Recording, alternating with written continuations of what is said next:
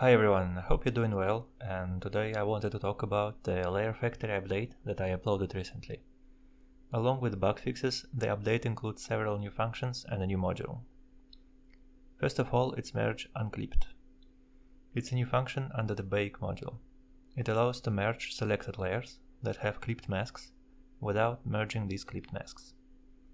One scenario for this function is uh, here me having these two layers each of them has some adjustment layers and overlays and whatnot on top as clipping masks.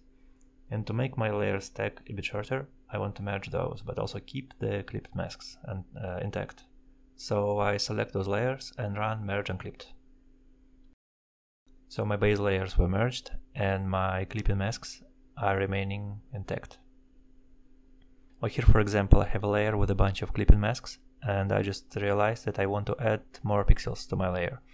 This little base down here. Normally, to merge all these layers, I'll have to unclip all these guys, merge the base, and reclip everything back. And with merge unclipped, it's a one-click operation. Next is uh, add to and subtract from mask. This function will add to or subtract from the active layer mask. If the layer doesn't have a mask, it will add to or subtract from the parent group mask.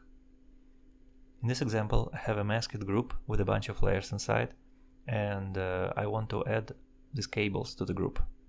If I simply move the layer inside the group, my cables will, will obviously be cut by the group mask. I control click the layer thumbnail to load the layer as a selection and run add to mask command. The selection was added to the group mask and I still have my layer selected, I can continue painting on it.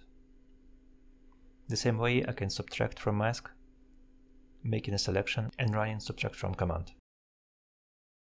And the last new thing is a match color module. This is basically a more convenient way of using Photoshop match color adjustment from the image adjustments menu.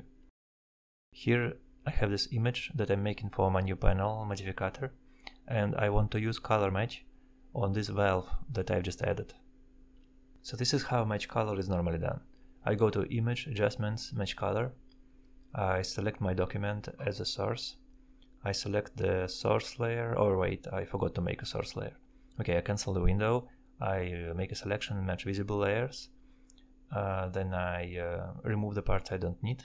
I run the command again. I select my uh, document again and I'm trying to remember what was the name for the layer I just made and find it in the list of my like of the thousand layers I have. Match color module on Layer Factory automates most of the steps. So I have my layer selected, I make a selection and simply run the match color.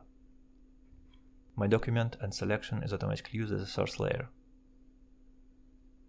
If no selection was specified, the source will be the merged copy of, of all visible layers apart from the target one. If I hold Ctrl key or Command for Mac while calling the command, my adjustment will be created on a separate layer as a clipping mask. This way I can erase some bits of the adjustment layer or use it in the blending mode I want. So this is it for today. I hope you will find these new features useful. My next release will be the modificator for Photoshop. And then I'm planning to release several add-ons for Blender that I've made. As always, if you have any questions or comments, please let me know. Also, please stay safe and uh, buy all my stuff. See you.